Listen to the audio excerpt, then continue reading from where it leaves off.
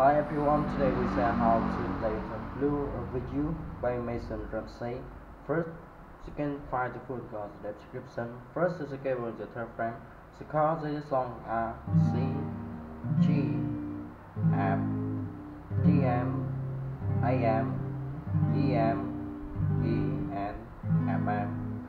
The first is playing P three two one two three P three two one two as it belongs C. F D. M. G. C. F D. M. G. And A M D M F C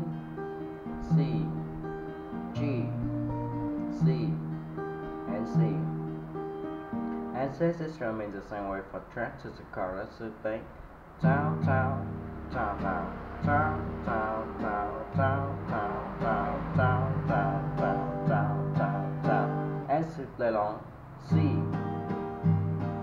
E, E, F